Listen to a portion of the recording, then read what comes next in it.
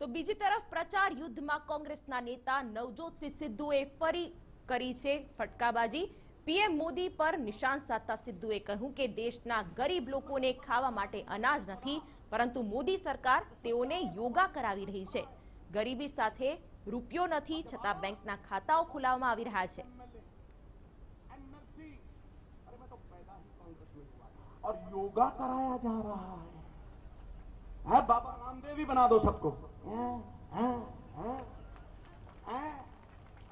सवेरे मोदी जी, अरे पेट खाली है योगा कराया जा रहा है और जेब खाली है खाता खुलवाया जा रहा है। ये राष्ट्रभक्ति है तुम्हारी, है? जेब खाली खाता खुलवाया जा रहा है। अरे खाने को खाना नहीं, शौचालय बनाया जा रहा है। ठोको ठोको, हैं? गाँव में बिजली नहीं, डिजिटल इंडिया बनाया जा रहा है।